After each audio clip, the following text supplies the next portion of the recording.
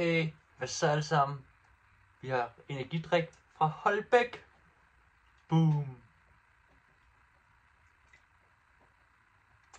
Sponsoreret med kameramand. Vores kameramand.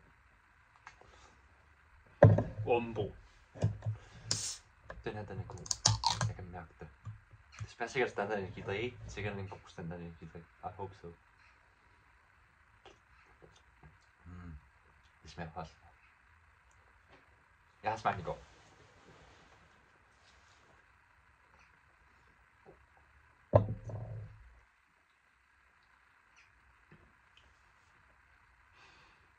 Okay. Standard så er den jo tre- teknisk set 3, 4, 3, 3, 4, ikke? Men Altså, den hvad, er hvad, god. hvad, hvad gør vi ud fra? Altså, det er jo en standard energidrik, ikke? Fra 1 til hvad? Så hvad noget, hvis, hvis vi sammenligner med øh, andre energidrikke, så, den er, så, så, kan, så, så, så, er vi jo nærmest, så, så, så, så, det jo, så er det jo måske jo 10 for Ja, ja, ret, ja. ikke? Men lad os sammenligne med standard energidrikke, for eksempel en normal Red Bull, en X-Ray, en Kult, en ekstra, en ekstra, du ved, en Amber, Hustler, du ved, alle, dem der, alle de der, der, du ved, billige energidrikke, Ja, smager energi, det, det vi kender, den klasse, det er jo en klassisk energidriksmag, så Ja.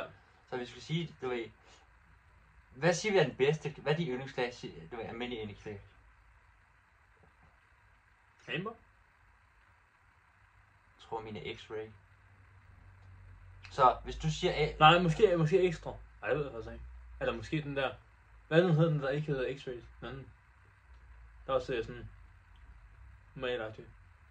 den er væk. Ja. Hustler. Nej, Kult.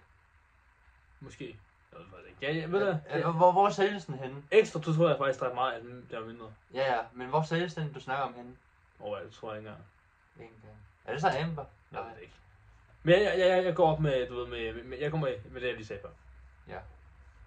Amber. Ekstra.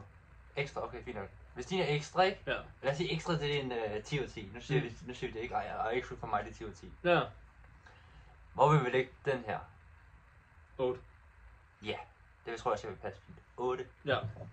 en kæmpe konklusion, hvis du skulle sige, hvordan det er god. Det smager standard ikke i drikke, men jeg vil tro, at en hostel, normal hostler, det vil, det vil altid være en 11 ud af 10, fordi hostel slår x-ray, synes jeg. Men det her, det er en god, tæt, den er tæt på, den, den har bare ikke, du ved, hvis jeg skulle beskrive det, så er det bare ikke helt på, så, så mangler den bare, hvad du ved, at den hedder hostler. Mm, mm. du ved, så er det stedet lige pludselig. Fordi hostler har, været, hostler har altid, fordi hostler er væk, det kan aldrig bare, selvom det smager Nej, hostler, det er også det. Selvom det smager hostler, så kan det ikke bare være hostler. Den er sgu god. Hostler er godt.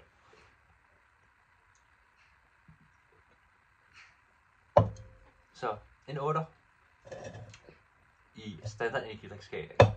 Ja. Så, sig det, så, så sig det som 3,8, hvis vi skal sammenligne med andre energidrikke. Ja. Like og subscribe.